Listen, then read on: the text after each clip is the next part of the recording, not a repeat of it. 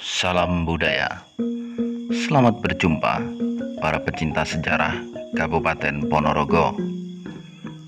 Pada segmen sebelumnya dikisahkan bahwa di Ponorogo pada masa lalu pernah berdiri beberapa kabupaten.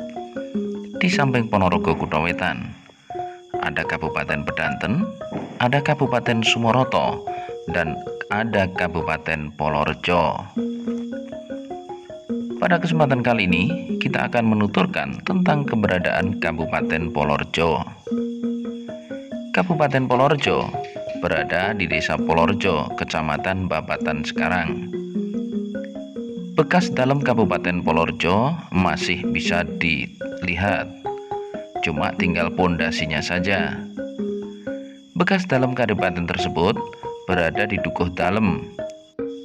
Tentang riwayat dan sejarah Dukuh Dalem sampai sekarang belum ada keterangan yang jelas.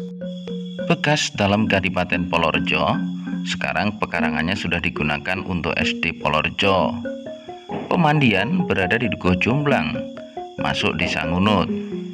Sementara itu, Kepatian dan juga bekas Masjid Agung yang sekarang disebut Kauman juga berada di Desa Ngunut. Taman Sari masuk di Dukuh Pertamanan ini masuk desa Polorjo, tepi sebelah timur. Kabupaten Polorjo zaman dahulu disebut sebagai Kutolor atau kota yang ada di sisi utara. Semua bupati yang menjabat sebagai Bupati Polorjo sebanyak empat orang, semuanya adalah darah Katongan. Semuanya juga dimakamkan di Pesarian Setono atau Pesarian Katongan. Empat bupati tersebut adalah yang pertama, Raden Tumenggung Brotonegoro. Beliau ini adalah putra Adipati Surodiningrat I, Bupati Kutowetan.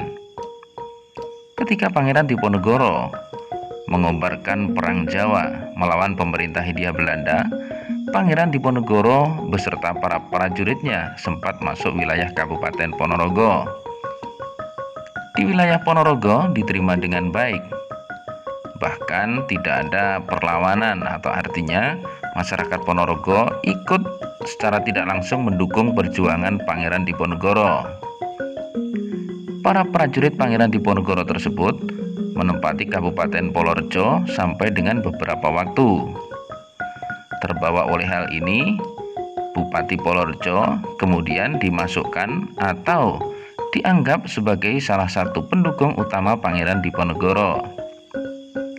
Pada tahun 1825, Kabupaten Polorjo diperangi atau diserbu oleh para prajurit kompeni Belanda.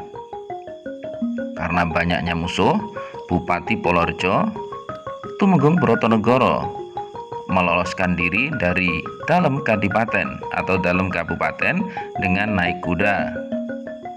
Kuda yang ditunggangi Bupati Polorjo tersebut berjalan ke arah barat akan tetapi semakin lama semakin dikejar oleh para prajurit kompeni Belanda. Tumenggung Brotonegoro atau Bupati Polorjo naik kuda tersebut akhirnya naik ke Gunung Gombak.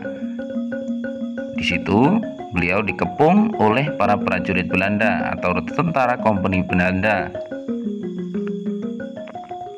Karena terkepung, dan diancam dengan berbagai macam senjata yang dipegang oleh para prajurit kompeni Belanda, beliau akhirnya pun menyerah. Keputusan pemerintah Hindia Belanda, Bupati Polorejo diasingkan di puncak Gunung Gombak. Tidak boleh turun apabila tidak mendapat izin dari pemerintah Hindia Belanda. Akhirnya, beliau pun wafat di puncak Gunung Gombak.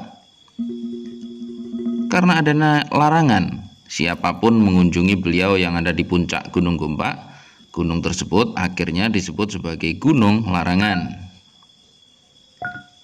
Pada suatu malam, dengan diam-diam, keluarga Bupati Polorjo kemudian memindahkan jenazah beliau untuk diboyong kemudian dimakamkan di Pesarian Katongan Setono. Beliau dimakamkan di pelataran ketiga gedong nomor 5 Gedong tersebut sekarang sudah roboh. Sementara itu, padukuan kecil yang ada di kaki Gunung Gombak tersebut untuk selanjutnya juga berganti nama menjadi Dusun atau Desa Ngelarangan.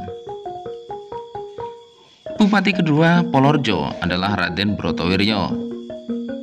Beliau menggantikan Raden Tumenggung Brotonegoro. Raden Brotowiryo adalah adik dari Raden Tumenggung Brotonegoro.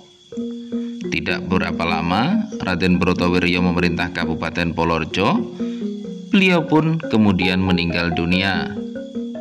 Raden Brotowiryo juga dimakamkan di Besarian Setono, Pelataran nomor 3. Bupati yang ketiga dari Kabupaten Polorjo adalah Raden Merto Menggolo. Diceritakan, pada saat Raden Brotowiryo meninggal dunia, beliau meninggalkan putra yang saat itu masih kecil. Oleh karenanya, yang diangkat menjadi bupati menggantikan Raden Brotowiryo adalah menantunya, yakni Raden Merto Menggolo.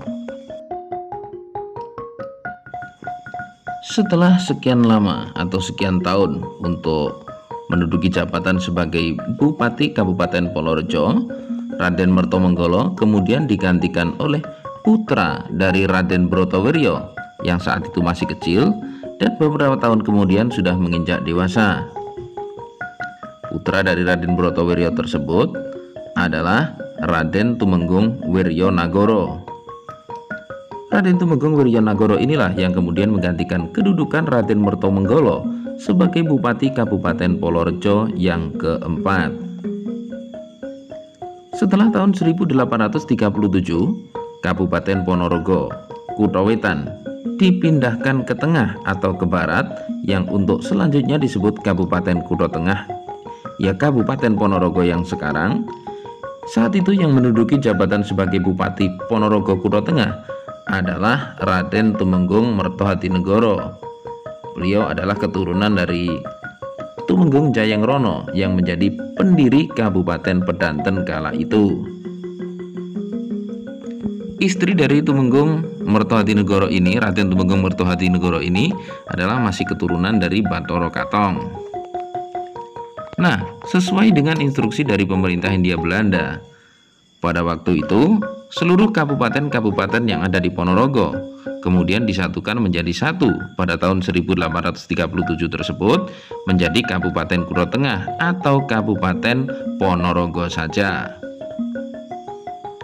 Sementara itu Bupati Polorejo yang menjabat pada waktu itu yakni Raden Tumenggung Wiryonegoro kemudian juga wafat dan untuk selanjutnya juga dimakamkan di Pesarian Setono atau Pesarian makam darah Katongan. Usia Kabupaten Polorejo atau Kabupaten Kutolor memang tidak terlalu lama, bahkan bisa dibilang singkat saja. Bupati yang menjabat sebagai pimpinan Kabupaten Polorejo pun hanyalah empat orang. Semuanya dari Terah Katongan atau keturunan Batoro Katong. Singkatnya keberadaan Kabupaten Ponorogo, hal tersebut tidak menjadikan berkurangnya makna atau hikmah sejarah dari perjalanan yang kita kisahkan pada kesempatan kali ini.